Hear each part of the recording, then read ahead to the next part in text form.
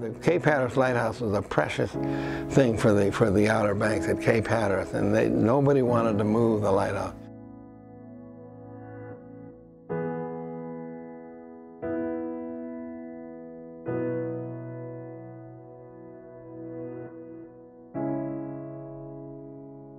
cost $12 million to move the lighthouse and the lighthouse keeper's two big houses that belong to the lighthouse.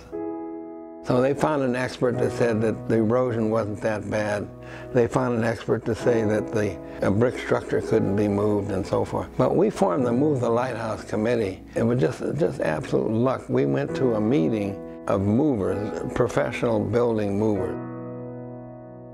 They said it, it's easy to move the lighthouse because first of all there's no roads to go across, there's no buildings, no bridges, uh, just, just, just sand. And secondly, the, the design of the lighthouse was well understood. It was a sturdy subject and it was low center of gravity. We got this information to the, to the, light, to the Park Service and they called in the National Academy of Sciences and the National Academy of Engineering in a very unusual joint panel, and they said the lighthouse has to be moved to be saved. The lighthouse can be moved, there's no problem.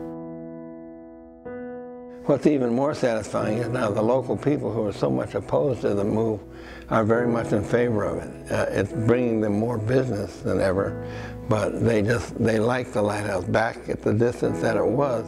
So it's very exciting to, to, to have the 20th anniversary come by this, of this lighthouse. And of course, if you can move a multi-ton lighthouse, you can certainly move a beach cottage.